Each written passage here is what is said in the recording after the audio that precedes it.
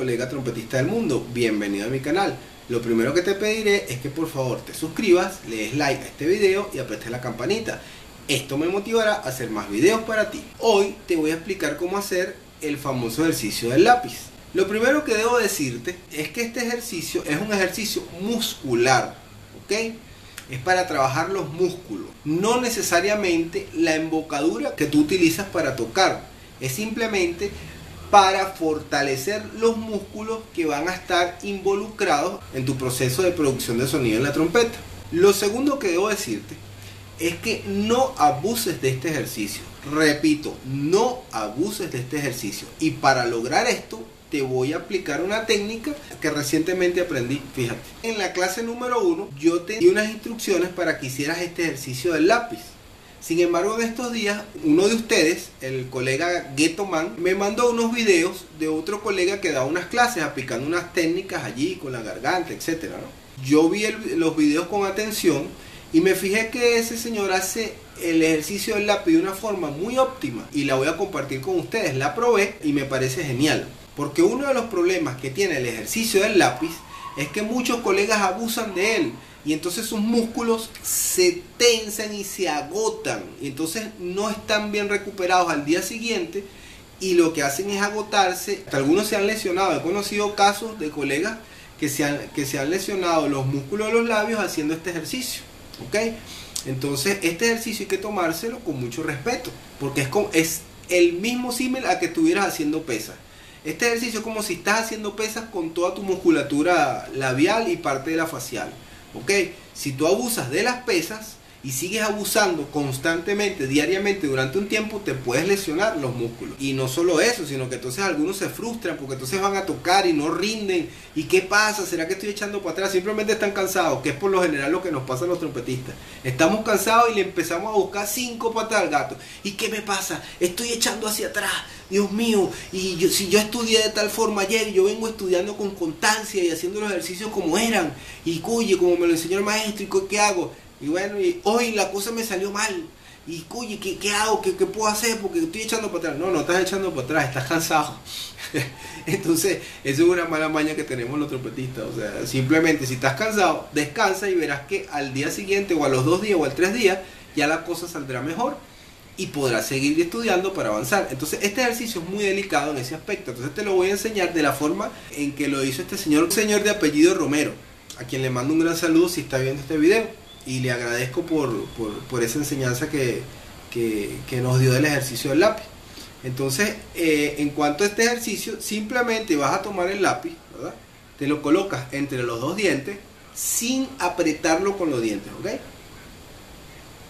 Vas para esto al principio vas a tener que usar un espejo, ¿ok?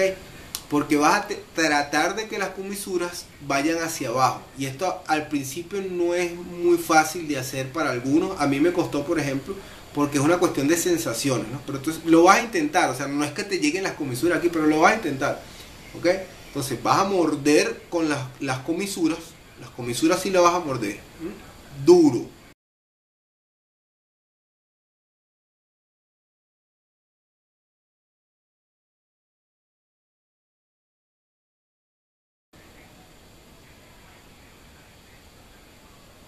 con el labio de abajo vas a tratar de hacer que el lápiz se mantenga en esta posición, como si estuviera mirando hacia el cielo o hacia el techo.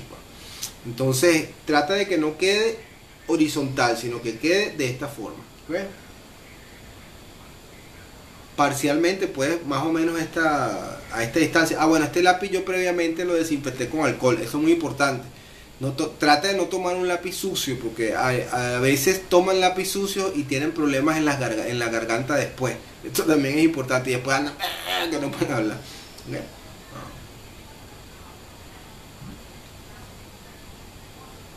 Y lo aprietan. Entonces, ¿cómo hace este señor este ejercicio? Que es lo que quiero compartirte hoy. Bueno, tú vas a mantener el lápiz hasta que el lápiz se te caiga. Cuando el lápiz se te caiga, eso sí, yo te recomiendo, yo en la clase 1 te recomendé hacer este ejercicio por unos segundos antes de comenzar a tocar, como una forma de calentamiento. Yo te dije, bueno, haz, este ejercicio, descansa unos minutos y luego sigue tu periodo de calentamiento con la trompeta. Sin embargo, cuando lo hagas de esta manera, hazlo al finalizar tu rutina de estudio. De hecho, si puedes hazlo, hazlo en la noche antes de dormir, si estás viendo televisión o estás en la computadora, este, te pones el lápiz. Cuando el lápiz se te caiga, lo dejas así, porque significa que tus músculos se agotaron y dejas que se recuperen. Por lo general al otro día ya está recuperado, pero si no estás recuperado, entonces ya tú le vas a tomar el tiempo que, que lo vas a hacer una vez cada dos días, una vez cada tres días. O sea, tú, tú ves buscando dónde se te hace más cómodo, ¿ok? La idea es que te canses y tengas un periodo donde te recuperes. Esa es la forma de desarrollar los músculos. Cansarse y recuperarse. Si tú te cansas y no esperas a recuperarte, después te vas a cansar más y más y más, te puedes lesionar los músculos y no vas a rendir con el instrumento, ¿ok? El descanso es parte del estudio. Haces esto.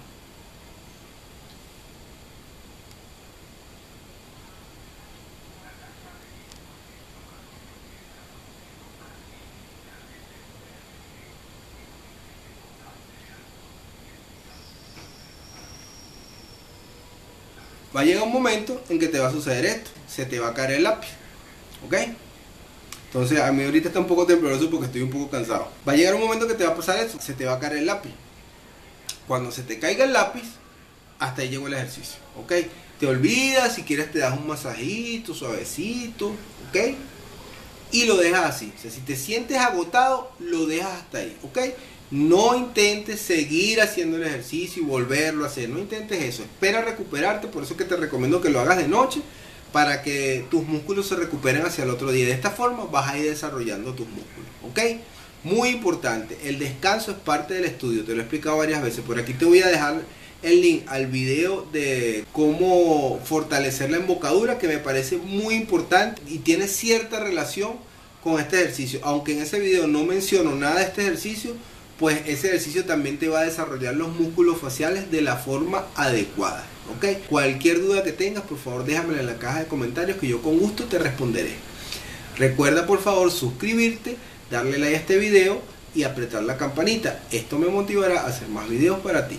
Hasta la próxima, colega trompetista del mundo.